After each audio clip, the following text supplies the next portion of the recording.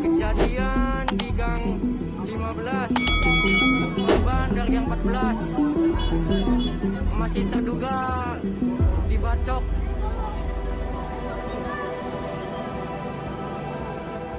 Mana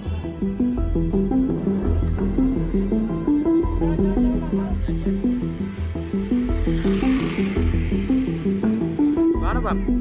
Kejadiannya mana? Ini.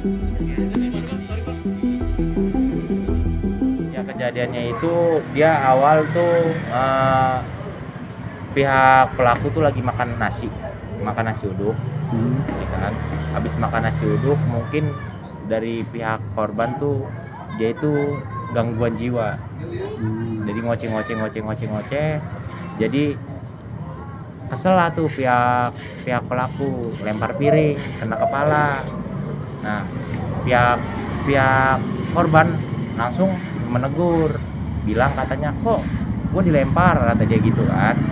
Udah gitu oh ya udah tunggu tunggu tunggu. Akhirnya dia ke rumah ambil barang langsung ngejar pelak eh, korban. Korban tuh di sini kejadiannya dia dibacok di ba- bagian tangan.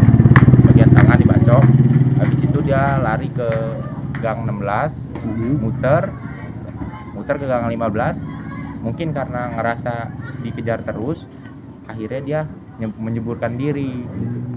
Nah sesudah itu langsung dibawa oleh pihak gang 15 untuk dibawa ke RS Koja. Nah, Kondisi korban sekarang gimana bang? kalau Untuk info terakhir. kondisi korban sekarang ini sudah sudah sadar sudah sadar namun eh, menjalani operasi harus operasi sebab eh, ada bagian-bagian yang dalam kayak tiga bagian dalam termasuk jari Hmm. Untuk korban dengan pelaku ini bertetangga atau berteman atau gimana bang? Hubungannya? kalau untuk korban ini bertetangga pastinya Hmm, bertetangga ya.